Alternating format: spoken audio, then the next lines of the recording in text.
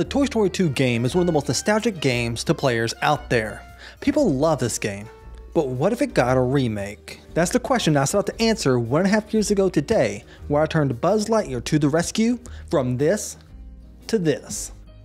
Toy Story is about to turn 30 years old. The original movie was just re-released in theaters a few weeks ago, and Toy Story 5 is nearly here. But over the last 15 years, Toy Story games have been neglected. From Toy Story Racer to Toy Story 3, these games deserve to be the best versions of themselves possible. And there's only one man for the job. Graduate of Starfleet Academy. The greatest space ranger to ever join Star Command. This is Buzz Lightyear to the rescue.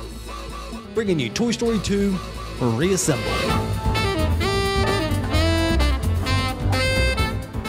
Since my last update, we have made significant progress to both level 2 and level 3, with both mechanics and art.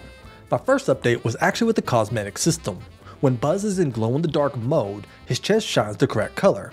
However, I also have a light component on him that stays a static green, so I updated the cosmetic system to track a color variable, and I just update the light color when a new cosmetic is selected. I have also started adding more cosmetic items. I will say that due to technical limitations with the model we're using, it isn't really viable for us to create new outfits for Buzz. However, we can still create new attachments. I've added a Zurg helmet that Buzz can wear, as well as being able to wear his booster boots at all times. But we'll get back to these booster boots soon. I know this cosmetic system update was only one paragraph, but this was actually quite a big update behind the scenes, but just nothing super interesting to say about it beyond that. I've talked about the race manager before, but essentially this system uses these checkpoints to determine which racer passes which checkpoints to determine who is actually doing the race properly and who is winning. All that is simple enough, but the really tricky part is RC's AI. I have a spline that I use to tell RC where to go, so it's as simple as telling RC to follow this path, and it works perfectly. oh man, this is so bad. You know what I could use? Help from this video's sponsor, Brilliant.org. Brilliant helps you become a better thinker and problem solver with thousands of visual interactive lessons in science, data analysis, AI, mathematics, and programming. That's a great opportunity for anyone interested in game development. With the Brilliant app that makes it really easy to learn with fun, hands-on lessons, I've been going through the programming courses to build timeless problem-solving skills, not memorization. Meaning while I'm elevating my knowledge, intuition, and skills as a programmer, which I need a lot of help with, I've also become a better problem solver. I really like that I can take it anywhere while on the go with my busy life, regardless of whether I am diving into a new topic or just doing some practice lessons. To learn for free with Brilliant, go to brilliant.org slash level redesign, scan the QR code on screen, or click the link in the description. Brilliant's also giving our viewers 20% off with the annual premium subscription, which gives you unlimited daily access to everything on Brilliant. I then started work on the broken down car in the messy yard of level 2. This is actually a pretty involved model since it is lowered by jacks by ground pounding buttons on the ground. And it also has a trunk that is a ground pound launcher. I have a launcher system already, so that was simple as dragging it in, determining where it should launch Buzz, and attaching it to the car. This shows the power of having reusable systems in your project, which is why I was able to create about 60% of level 2 in just a few hours during a live stream which is only possible with this type of workflow. I'm going to give a demo of how this car works. Essentially, if you ground pound these buttons, it lowers this jack and it lowers this jack. You can see that the car currently is resting on the two cinder blocks on the passenger side. And then the two jacks, now one since I ground pounded the one button, are holding up this side of the car. But if you ground pound it, whoops, you can see the car lowers and now you can get on top of it. We have also added the trunk here and it has a little marking on the back to show where you can ground pound. As you ground pound it, the trunk actually opens and smoothly closes. Now the way the system works is we have these car jack buttons and then as you ground pound it, it has our event system on there where if you ground pound on it, it actually lowers the piston. Then it sends a notification that the jack has been activated. This notification will be picked up by the broken car manager, but we'll get to that in a minute. Then it runs a timeline, which is basically a quick, easy way to adjust the position of the buttons to lower it and raise it. Now, once we actually lower the piston on the jack, it runs another timeline that lowers the position of the jack itself. That's pretty simple to do. And finally, we have the broken car manager, which is on the actual broken car. This jack activated event is called by those buttons. It's listening for when those buttons are pressed. If we go through the list and all the jack buttons that we are looking for have been activated, then we call this event called all jacks activated. What this does is it runs a timeline to adjust both the rotation and location of the car.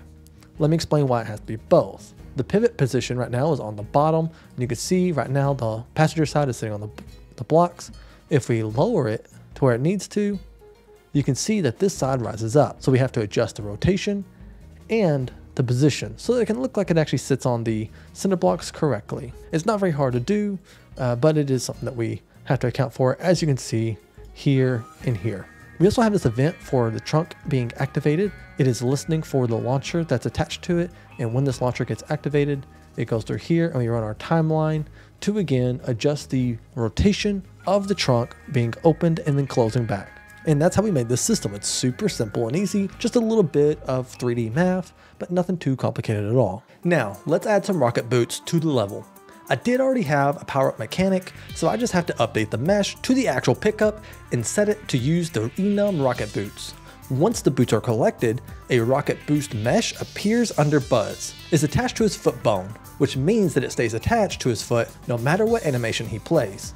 I then put Buzz into his edge detection backwards animation state, so the boot appears on the one foot on the ground. Then I set Buzz's forward velocity to a new booster boot speed variable, so Buzz can no longer move back and forth at free will, and he turns by moving the camera the direction the player wants Buzz to move. Now that I have this movement working, I then found a sci-fi booster particle effect pack. There are a lot of great booster effects here, but I settled on this one for now, but let me know if you think one of these other ones would actually look better. Next, I began working on the bosses for level 2 and 3. But before we get there, let's take a look at all the new art. Okay, here we are in level 2 to look at some new art. And you'll notice the first piece of new art is the lawnmower. It doesn't really turn real smooth, but uh, that's okay. Um, and we even also have a particle effect of some grass that's shooting out of it as well. I definitely love how the lawnmower looks, but I do want to refine its movement a bit. It is a bit crazy. I also want to point out the new exterior environment. You can see it down from here and you get a little glimpse of, of like the large buildings as well as some uh, standard houses. Uh, we'll get a better glimpse of that in a moment. But first, let's go to the messy yard because there's a lot of new art here. Uh, first off, we have a clothesline that works with the wind effect system, so you can see the clothes are blowing in the wind. And then we also have this washing machine that definitely looks a bit rusted. Uh-oh. We have the broken down car, which is very rusted, but definitely love the style of it. And now that we're on top of the car, we can actually come back here and you can see the trunk that does open and we have a little spot to tell you where to ground pound. Now we're gonna make our way over to the washing machine. I love the interior of this. It's so cool. You see the light bleeding through these little holes. It looks really nice. But the actual washing machine is a bit dirty and I love the way this looks. Uh-oh. We did update the cement puddles. They were moving like water and I made it to where it doesn't move unless you're actually in it and you're pushing it. Uh, but when you're not in it, it does not actually move at all. And here's the Rocket Boots model. They're much larger here than normal. Also, it is a quite a bright light. It's probably a little bit too bright.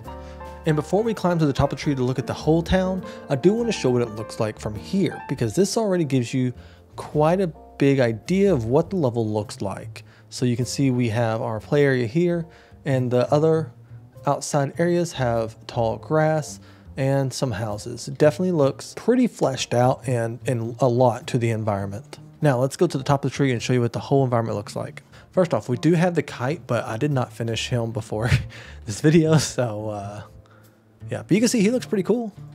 I don't remember how much health he has. There we go. And uh, his body pieces don't fall properly. I didn't turn physics on them.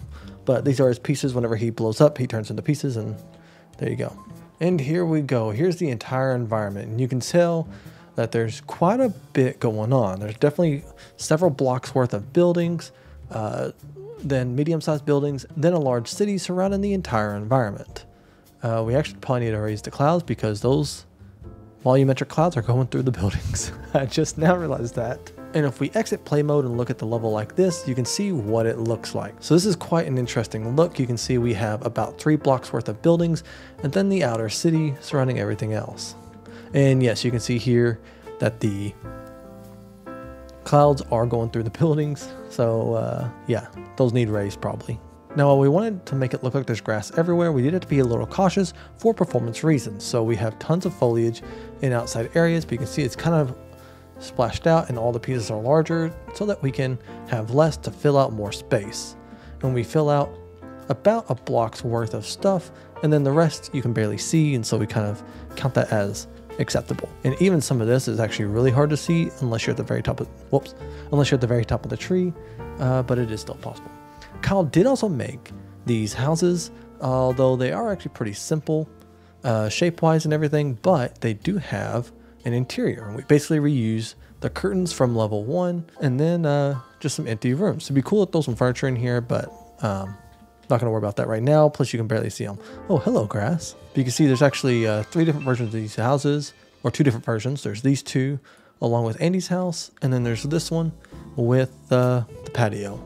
Kyle did combine these two houses to make this shape, though you can barely see it, but it does still add a bit more to the environment, especially whenever you're looking from up here. Now, if you're wondering, besides these houses, all the others actually came from an asset pack from the Unreal Engine store, which Kyle retextured. So we used the base models that were really low poly and were retextured. The, uh, the environment does have a lot of stuff, including some basic cars, some trash, light poles, stop signs, things like that.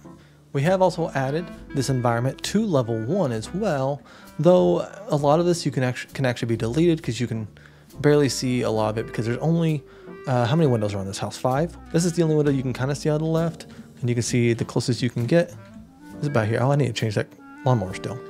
You can barely see the outskirts of the city, so uh, we can delete like most of the buildings here.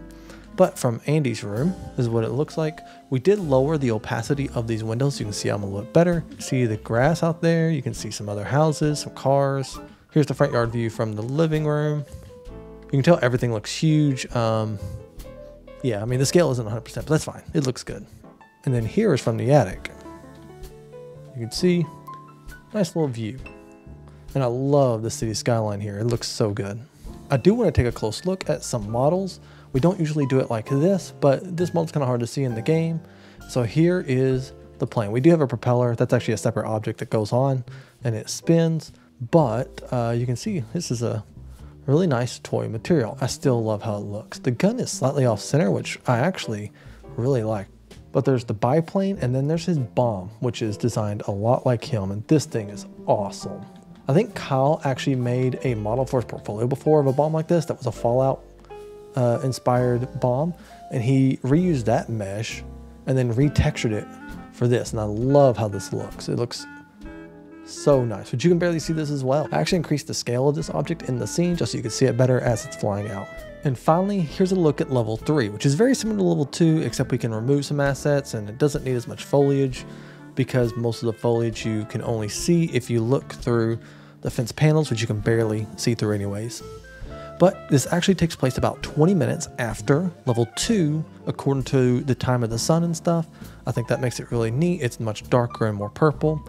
And uh, I also added a bit more clouds since the storm is starting to roll in, because in level 5 it storms a lot. I finished making all missions for level 2 and 3 at the same time as the bosses, which with the Narrative Tales plugin is super easy. I basically just have this simple tree here where the first task is to defeat the level 3 boss bombs away. Once he is defeated, I tell narrative that I completed the defeat boss task with his special argument BA underscore boss, the first two letters representing the level name and the word pointing to the specific mission type. This moves the mission to the next task, which is to collect the token. I know level 3 doesn't actually technically have a token in the original game, but I put a token here for now to see if I prefer to have it or not. For the actual bombs away behavior, I recognize that movement of all of my AI is the worst part of this remake. AI isn't really what I specialize in, but instead I'm really good at making large complex systems. But I decided to try a new approach with this boss. Instead, I move him with the movement node here, which takes a direction.